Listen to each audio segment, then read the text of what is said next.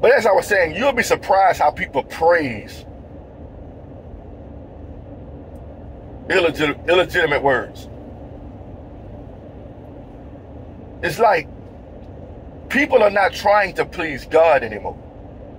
They're trying to please people. It's like they look around and see a bunch of women in the audience be like, You can teach, woman. Paul was just talking about that back then. Have you read the Old Testament? That's all I'm going to say. Have you even read it? And have you even read the New Testament? But it's like people praise lawlessness. But guess what kind of people praise lawlessness? People who are lawless. They endorse it. You see, I was watching a something and um years ago, and I love this saying.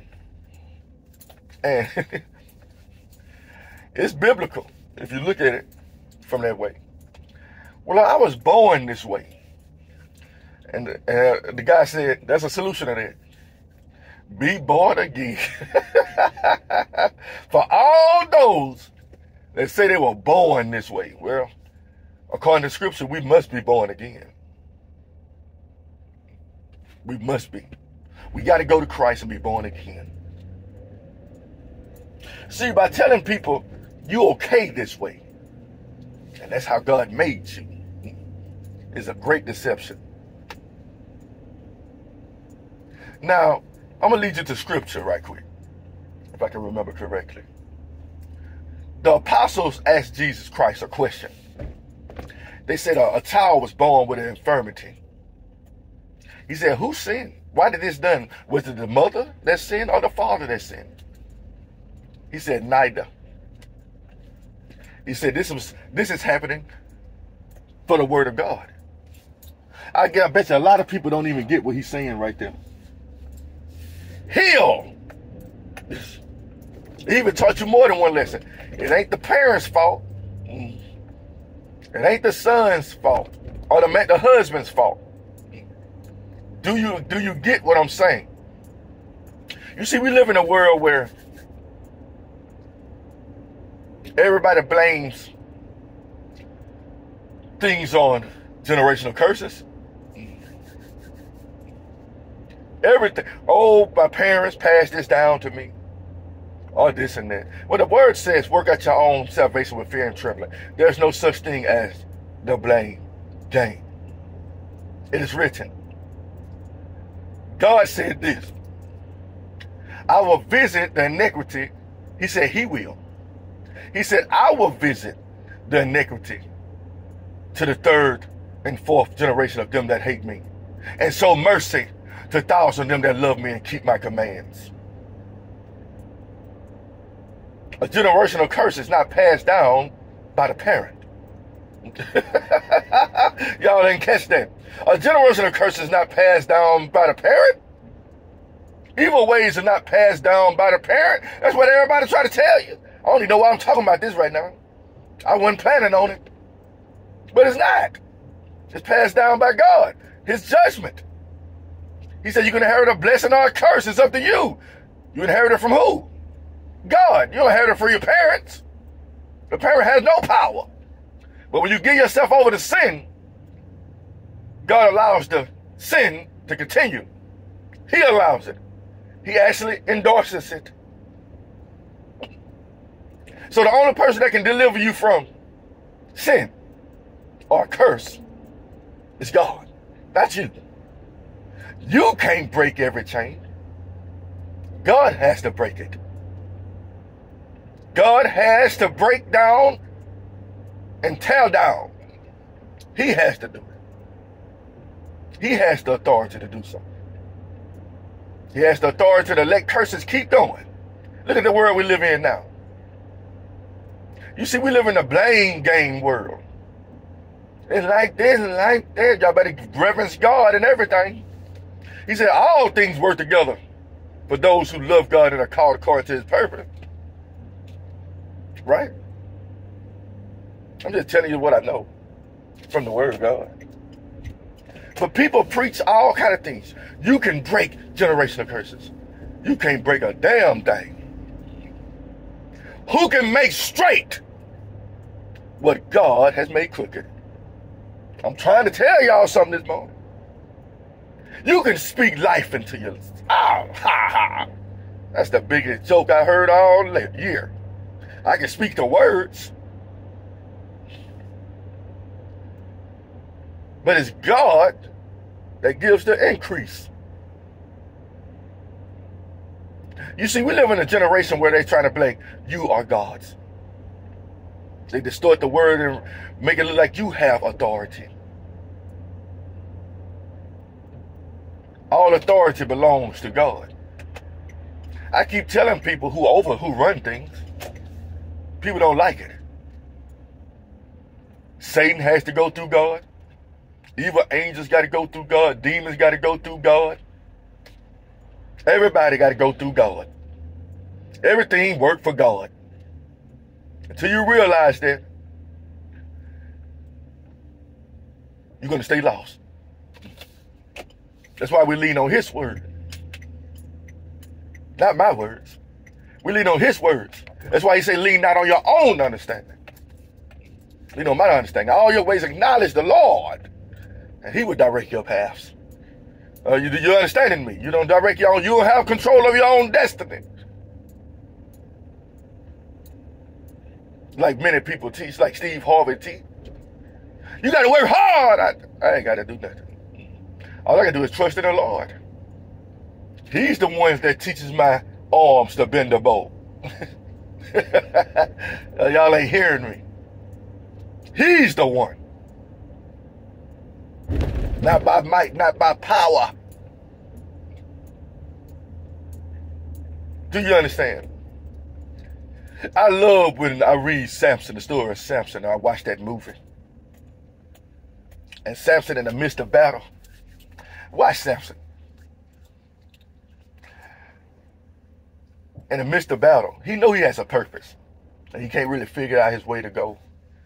But I like something about it. It's like he was fighting a thousand Philistines and they was piling up on him. He was like, Lord, help me. And he gained strength. Who? So whose strength was it? it was the Lord. And the Spirit of the Lord came upon him. and he slew thousands with a jawbone of an ass. Heaps upon heaps of a jawbone of an ass. An ass. I'm a joker too. Hmm. All through the Bible, the Spirit of the Lord. A lot of some people preach that the Spirit of the Lord wasn't in the Old Testament.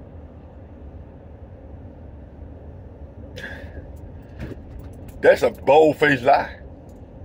It was there. It was there.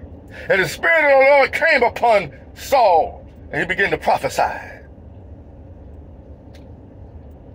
The Spirit of the Lord had been around. Do you understand what I'm saying? Jesus wasn't in the Old Testament. The sons of God came to Sodom and Gomorrah and the Lord told the, the other ones, hey, uh, what should I tell my servant, my servant, Abraham, what I'm about to do? And Abraham talked with Jesus face to face. Jesus never talked about homosexuality. In the beginning was the Word, and the Word was God. Behold, I saw Satan fall like lightning, said Jesus. Behold, Jesus is the Word. You see how people distort the reality of the truth? They separated the New Testament from the Old by saying Jesus was not in the Old Testament. Well, you don't read Scripture. He said he expounded to them everything in Scriptures concerning him. Now, if you smart, you realize what scripture he was talking about. The Torah. All the way up to what's the last verse of the Old Testament? Is it Micah? I can't remember. But all the way up from Genesis to before Matthew. How about that? It's the scripture that he opened the disciples' eyes to concerning him. Right? But that's what people do. Don't even know the word. I'm just sticking to the words in red. hey, in all reality, the whole Bible is written in red, whether you want to believe it or not. It's all about Jesus. It's all about the Savior ever since the beginning.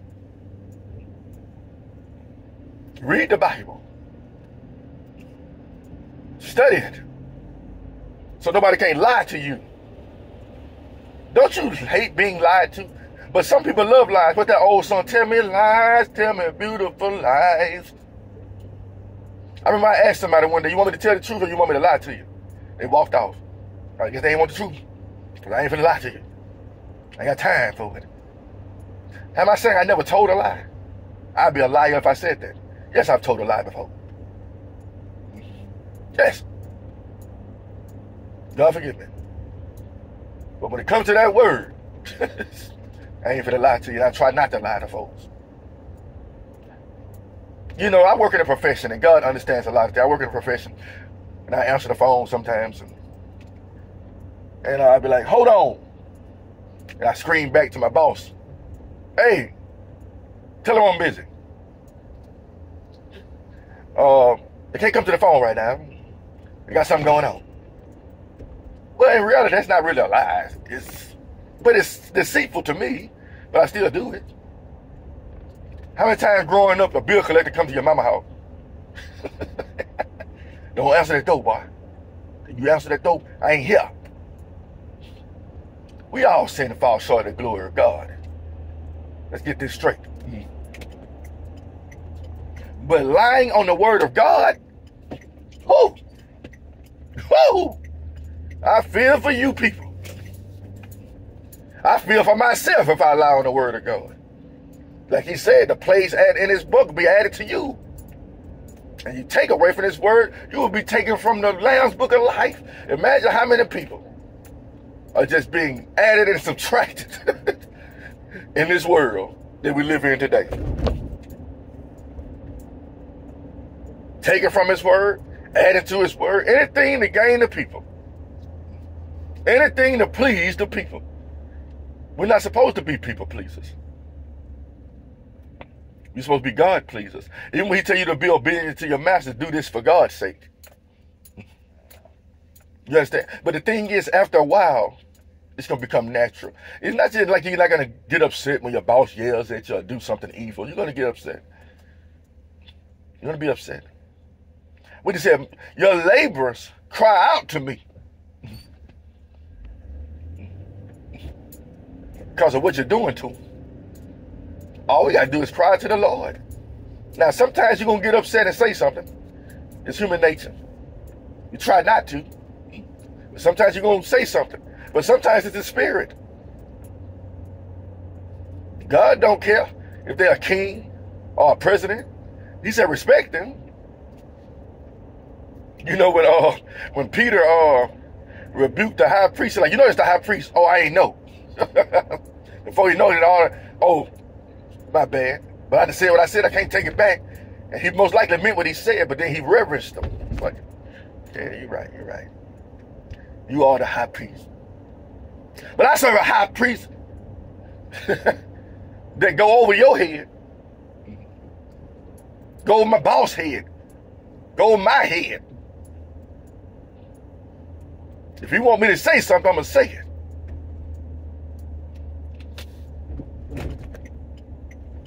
Now, let's go back to Ezekiel when he tells people about warning other folks. by telling other folks the truth, telling people what God says do. So for for for, for y'all can get this through y'all head, thinking you get a free pass for shutting your mouth. Let me tell you something. You don't get a free pass for shutting your mouth. You never will. now, there's a time to speak and there's a time to shut up. That's true. But according to Ezekiel, he said, if I tell you to warn somebody, if I tell you to tell somebody the truth, what I tell you to tell them, well, he told me to tell people. And he told you to tell people too. He said, I will hold you accountable. You see, there's something called accountability in the Bible. And a lot of people, it's not that you are getting punished for their sin. You're getting punished for not telling them what God tells you to tell them in regards to their sin. That's why you've been punished. Because you're trying to withhold the truth from them. I don't want to upset them. And I'm guilty as charged sometimes. And you are too. But as you grow in Christ, you get more bolder in Christ. You ain't worried about what people say. But don't get too bold. And you will be humble. Now let's read what he said in um, Revelation one more time. I'm finna stop. I'm picking my brother up for work. But I got a few seconds before he come downstairs. Let's read from Revelation one more time. I mean, not Revelation, but Proverbs one more time while I'm waiting. 35. Just remember this as you go through your day. Every word of God is pure. He is a shield to them that put their trust in him. Add thou not unto his words, lest he reprove thee, and thou be found a liar. The best way to reprove somebody is by using the word. In reality, it's the only way. You know, I was talking to a guy about unclean meats. Let me just go back there a little bit. And I used the word. And I'm it says it. It says it in the Old Testament and the New Testament. And then people will start this is why pork is bad. Get on somewhere. Let me tell you something. The tree of the knowledge of good and evil was a perfect tree made by God. A good tree. It's just a tree he said don't eat from. Because a lot of times God wants you to be obedient. See how much obedience you, you can be today. Think fasting. God said you can eat, drink, and be merry, right? But just think fasting. If God said, I want you to not eat today. But you can eat, right? But just for today, I want you to refrain from eating from today. Does it does it make sense to you? You can eat though. You can drink. But today, I don't want you to do none of it. I made food for you to eat, but today I don't want you to eat. Take in the wilderness. When God said, all these things I want you to do right here. But when you get into the land of promise, don't observe the things I tell you to do this day. All right, it's kind of clear as day if you want to see it. And he told you that before he gave you a lot of rules and regulations. He's like, everything I bid you to do here this day, don't do. Well, let's go over to the New Testament. People are still trying to hold true to the law. You know, I, I was that phase, folks. I went to a phase when I wouldn't even trim my beard because I read it in the Old Testament. I'm like, I ain't finna trim my beard. Uh, sometimes I start looking rough around the edges and the voice in my head say, hey man, trim that junk. Trim that beard up, boy. Not as if it doesn't matter, but sometimes God's like, hey, trim your beard. Do you understand what I'm saying, people? We put ourselves to a bunch of rules and regulations for a reason. I don't know why God put all those rules and regulations for the children of Israel in, in 40 years in the wilderness. But I know he put 10 commandments in there that still hold true to, to this day. Mm-hmm. And the thing is, we have all been guilty of all of them. He said, if you're guilty of one, you're guilty of all. So we got to start looking at people just because they are homosexual, just because they are liars, just because they are thieves. They still deserve to have a chance with the Most High God because God gave us a chance. But people think just because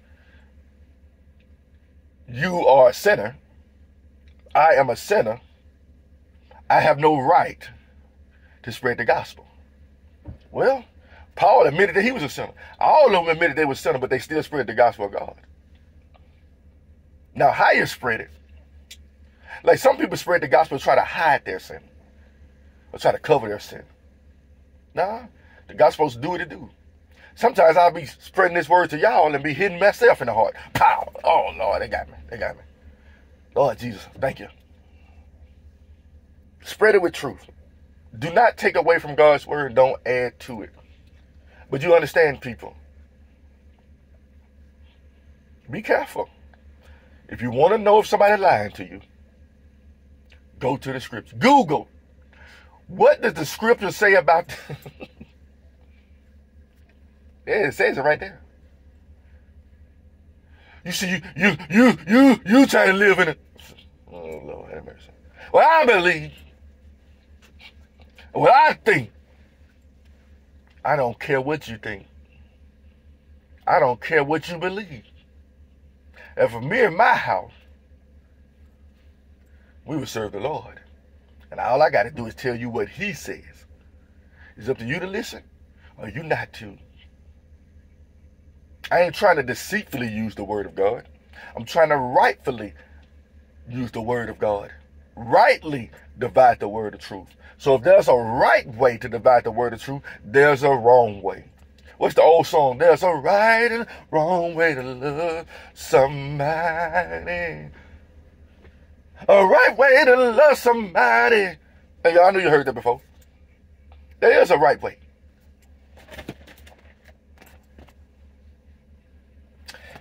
And there is a wrong way.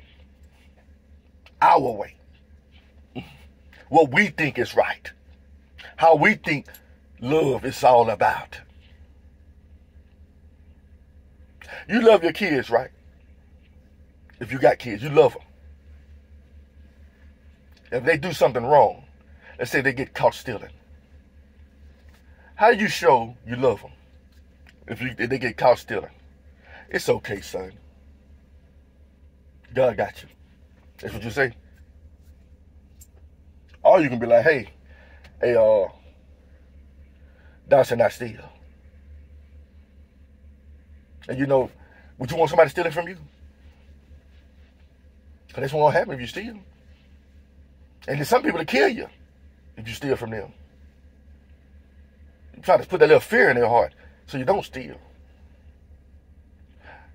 What's that guy that got choked by the police? Can't remember his name. But he went into the store with some fake bills. And the dude called the law on him. Was he wrong for calling the law? He trying to make run a business. Now, the way the police handled it was wrong. But two wrongs don't make a right, right? The way they handled it was wrong. Don't get me wrong. But the fact that you went in there with two fake bills or some fake bills to try to pay for something, and then the person called it, and they called the police, you set yourself up for that. I'm sorry that it happened, but you brought it on yourself. Same way with us. We bring things on ourselves. We'll, we'll encourage ourselves in a decency for matter. People do it all the time. The Bible says, Thou shalt not commit adultery. And somebody lust over somebody else's wife, David. Get unto me. Symptoms reduced when you were drawn away by your own lust. All right. You can blame your parents. It's a generation of curse. No, you was drawn away by your own lust. It's simple. And then the Bible gives us, as parents, things not to do. Train a child in the way she needs to go. Right? According to the word of God. So we had accountable for not training them correctly. But when they start walking and talking themselves, it's going on with them. They're gonna have to come to the knowledge of the truth themselves. You understand? You guys remember, we're all being punished for our own actions. Man, woman, and child. We get punished for our own actions. We don't get punished for the actions of our relatives. We get punished by what we do or don't do, what we say and don't say. That's how it works. Right? That's all I got for you right now, people. if you don't, if you haven't given your life over to God, I advise you to do it now. To set on the right path. You can do it right now. Accept Jesus Christ as your Lord and Savior. Believe He died for your sins. And start the process. And surrender. And that's gonna start a long, that's gonna be a long process. Like I, I tell people all the time, give your life to Christ. You're gonna have some peace, you're gonna have some joy. His peace and his joy. But you're going to have, in this world, you're going to have some suffering, you're going to have some pain. A lot of people don't want to accept Christ fully because they know that what comes with it, they are, a lot of people don't want the pain and suffering. If the Bible says the righteous will suffer, that's part of it. But you're going to get a peace, his peace. You can get joy, his joy. But it's not going to be the way you think. Have a blessed day.